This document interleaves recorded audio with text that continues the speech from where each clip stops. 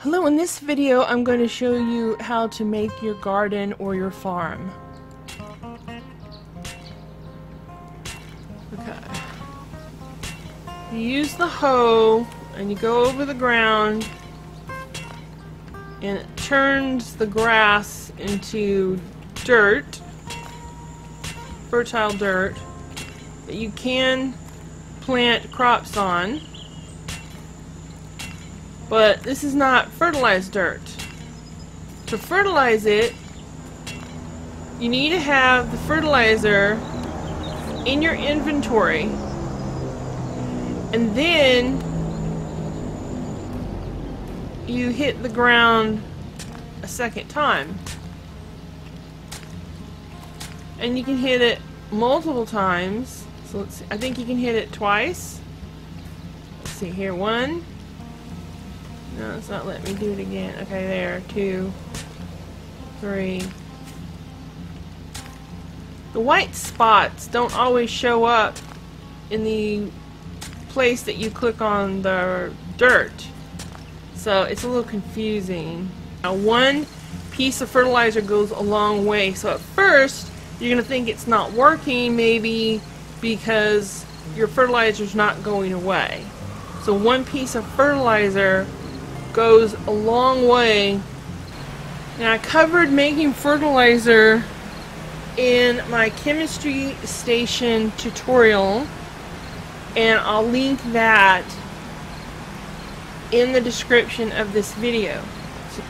Okay, new to Alpha 15, you can make chrysanthemum seeds. Just click on the chrysanthemum in your inventory, then click on chrysanthemum seed, and then you can craft it. And you get the chrysanthemum seeds. We also have hops flower, which is a totally new plant that allows you to make beer, and that's covered also in the chemistry station tutorial. So uh, you click on the hops flower, then click recipes and hop seed to make the hop seed. Mushrooms now can you can get seeds of the mushrooms and plant them, but it's not as simple as the other because you also need dirt. So you need mushrooms and dirt to make um, uh, a, a mushroom spore or seed. Alright, and then we have the aloe vera plant. You gather that in the desert, and you click on recipes, and you can make aloe vera seed. And then you can also can collect yucca fruit in the desert, either on the ground or by destroying a cactus. And then you can click recipes and then yucca seed and you get the yucca seed. So those are the new uh, items that you can make seeds of. We, we also have ear of corn. Again, you click on the corn and you can then make corn seed. We have goldenrod flowers. You just click on those in recipe, then goldenrod seed. Potatoes. Click on the potato, then recipe, then potato seed blueberry recipes, blueberry seed, cotton recipes, cotton seed. Coffee beans do not have a seed, they can be planted directly. To plant coffee, you just click on here on the coffee and you the coffee itself is the seed. The chrysanthemum seeds, yucca seeds, and aloe vera seed. Let's plant those.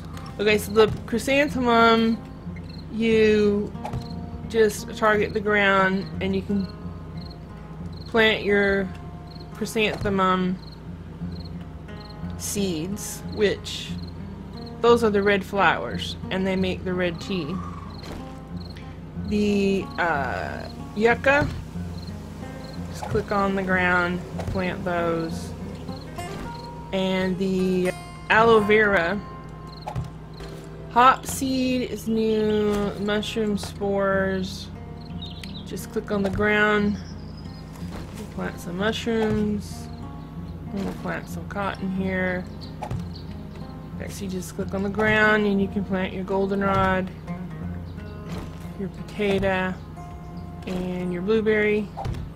And then lastly, we have the corn.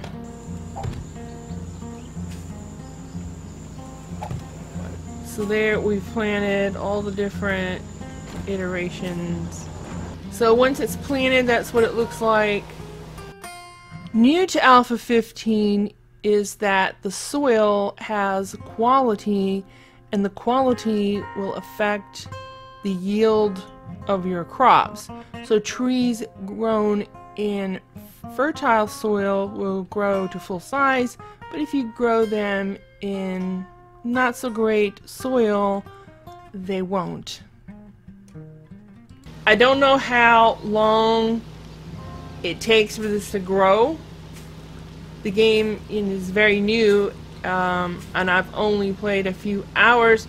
So we're going to find out, and if you know how long it takes for these crops to grow, then please put it in the comments.